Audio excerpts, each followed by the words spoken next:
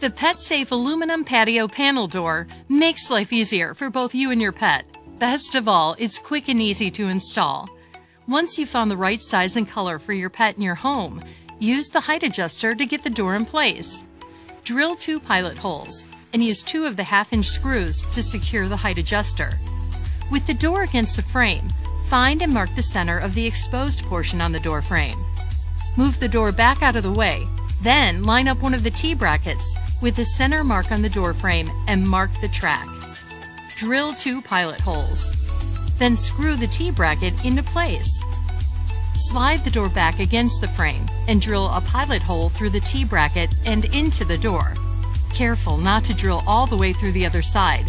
Then use another screw to secure the door. Slide the second T-bracket under the edge of the door. Mark the bottom track. Drill a pilot hole into the bottom track and into the door.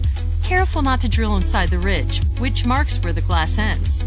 Then use screws to secure the bottom of the door in place. Install the lock in the back of the sliding glass door, drilling pilot holes if necessary. Then install the weather stripping on the exposed edge of the patio panel. Install the glass sweep on the back edge of the sliding glass door. Trim the excess off both. Use treats and praise to get your dog accustomed to using his new door.